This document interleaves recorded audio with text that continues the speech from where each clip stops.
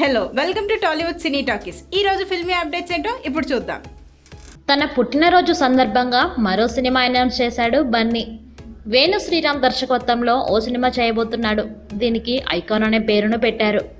కనబడట లేదు అనేది ఈ cinema tagline Sri Venkateswara Creations బ్యానర్పై దిల్ రాజు నిర్మాతగా ఈ సినిమా రాబోతుంది. దిల్ రాజు బ్యానర్లో ఇప్పటికే మూడు సినిమాలు చేశాడు బన్నీ. ఆర్య పరుగు దువాడ జగన్నాథం సినిమాలు వచ్చాయి. ఇప్పుడు దిల్ రాజు బన్నీ కాంబోలో నాలుగో చిత్రంగా ఐకాన్ మూవీ వస్తోంది. ఇదొక యాక్షన్ సస్పెన్స్ థ్రిల్లర్ అని తెలుస్తోంది. త్వరలోనే సెట్స్ పైకి రాబోతున్న త్రివిక్రమ్ సినిమాను పక్కన పెడితే ఓవైపు దిల్ రాజు మూవీ మరోవైపు సుకుమార్ సినిమా బన్నీ చేతిలో ఉన్నాయి. త్రివిక్రమ్ సినిమా తర్వాత ఈ రెండు సినిమాల్లో ఏది సెట్స్ పైకి వస్తుందనేది ప్రస్తుతానికి సస్పెన్స్. వేణు శ్రీరామ్ మాత్రం ఐకాన్ సినిమాకు సంబంధించి టోటల్ స్క్రీన్ ప్లే రెడీ చేశాడు.